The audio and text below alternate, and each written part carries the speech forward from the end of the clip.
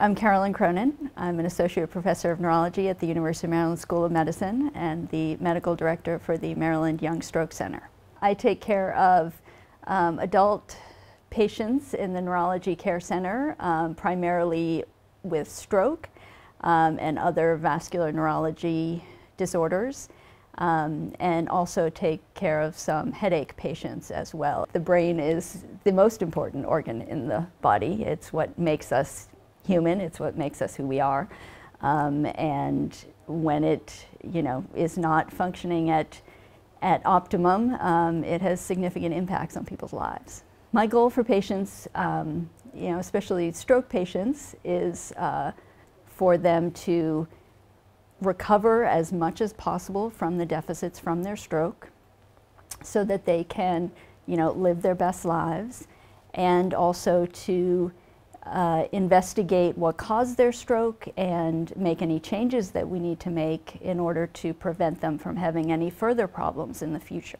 And with headache patients, you know, headache is, um, people think of it as a, a minor um, problem, but um, it has significant impact on people's quality of life and their ability to function. And so doing whatever we can to minimize that impact, um, you know, is, is the main goal of therapy.